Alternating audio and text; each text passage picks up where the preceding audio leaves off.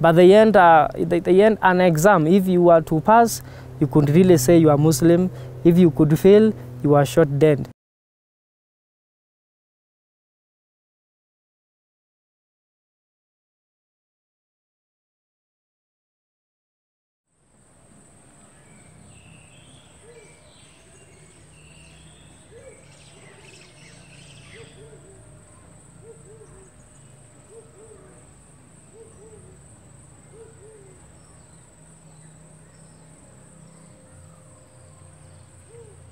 If you are Muslim, your life was safe.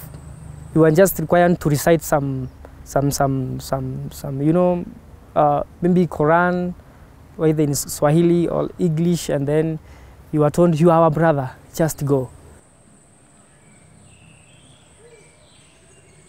I sometimes I could not imagine this is not reality.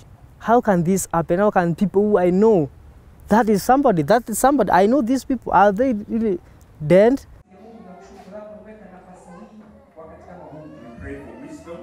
Ministry has been affected, outreach has been affected because of fear. Many people are living in are living traumatized. We only have a, a Sunday service that is guarded by policemen. When believers come to the church, the first thing they check is whether the policemen are there.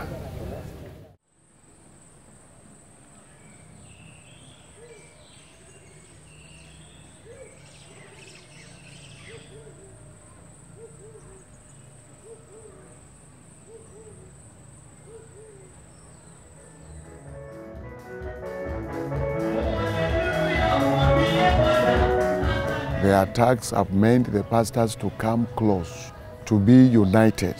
Their pastors have begun to pray together, to regard the other better than uh, oneself, to pray for one another, to do things together.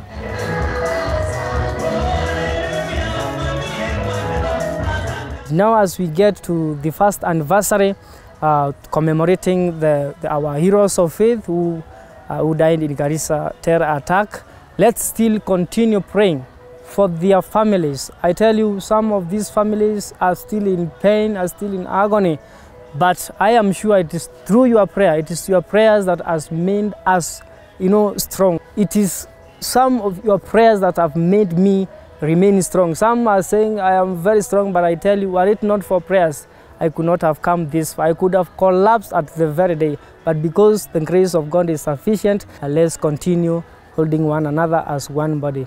God bless you. Amen.